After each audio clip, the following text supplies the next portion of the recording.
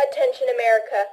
We've officially turned into Berlin, Germany in 1940. So let's have a little history lesson for everyone out there. Does anyone remember what the Nazi Germans did before they took power?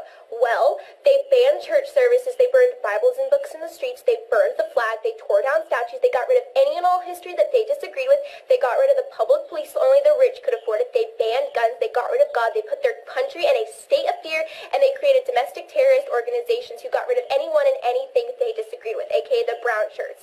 Now, does that sound familiar? Oh yeah, it's the BLM 2020, who are modern day domestic terrorists inside our own country who are actively destroying it. And they've already promised us if we do not condone to all of their demands, they will happily tear down our system. Hey, old-fashioned Democrats and moderates, you better start freaking waking up this November, because the silent majority is officially pissed off, and we are done being silent now. Get off my freedoms.